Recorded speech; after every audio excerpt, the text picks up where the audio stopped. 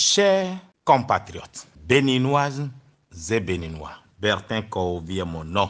Vous avez tous entendu le premier ministre du Niger, Lamine Zeyn, qui pour justifier la raison pour laquelle le ministre du pétrole du Bénin n'a pas été reçu, et personne n'oblige le, le général Tiani à recevoir un émissaire. Mais c'est dans notre tradition. La tradition africaine veut qu'on reçoive toujours l'émissaire même de son pire ennemi. Et ça fait partie des pratiques diplomatiques. Mais le Niger est en droit de recevoir un émissaire ou de ne pas le recevoir. À chaque nation, c'est pratique.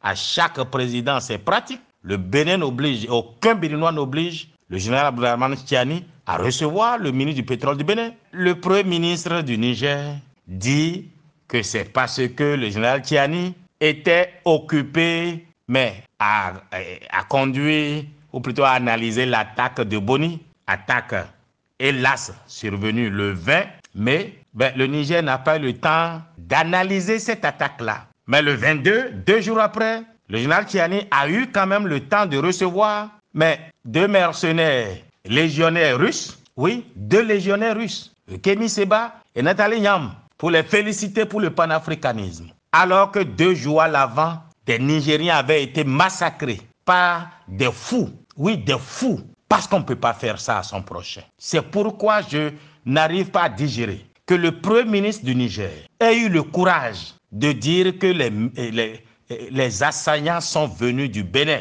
pour aller attaquer le camp de Boni dans le Tilaberi. Eh bien, mais regardez à l'aune de la géographie si le Premier ministre du Niger dit la vérité ou pas, ou s'il se trompe. Tilaberi est à 460, 433 km de distance en voiture de Gaïa. Je ne parle même pas encore de Malanville et autres. De Gaïa, je prends Gaïa. 336 km de distance en voiture. Si les terroristes ont pris une voiture, eh bien, au moins quelqu'un va le remarquer. Mais à vol d'oiseau, mais ça fait 339 km. Je dis en voiture, ça fait 436 km. À vol d'oiseau, enfin, c'est-à-dire en distance directe, ça fait 339 km. 5 heures de temps en voiture. Franchement. Tilaberi a des frontières avec le début du nord du Mali. Mais ce n'est pas loin de Gao, de Tombouctou et si vous voulez. Hein?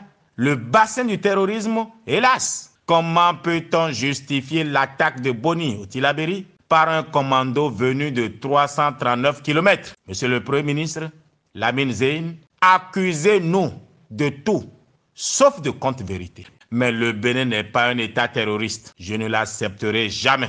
Accusez Talon de tout ce que vous voulez, mais pas de ça. Le Bénin n'y est pour rien dans le drame de Boni au Tilaberi.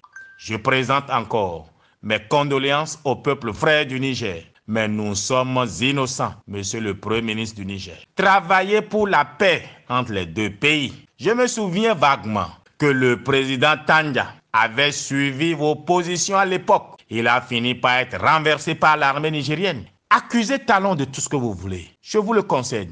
Mais pas de ça, c'est trop gros, monsieur le Premier ministre. Et si on veut dire la réalité, tout ça est né d'un coup d'État qui ne réagirait pas contre un coup d'État. Mais vous voulez qu'on applaudisse un coup d'État? Parce que c'est ça la réalité. Mais un peu de pudeur quand même. Parce que quand j'entends le Premier ministre du Niger, eh ben, même s'il avait été élu à 90%, il n'aurait pas autant de légitimité. Maintenant, quand ça commence par faire beaucoup, basta, ya, ça suffit. Mais ça suffit. Le Bénin a tous les péchés d'Israël. Attention, il faut aussi savoir d'où on vient. Un peu de pudeur politique quand même, monsieur le Premier ministre. Alors je ne permettrai à personne de traîner dans la boue le Bénin de traîner dans la boue le président du Bénin.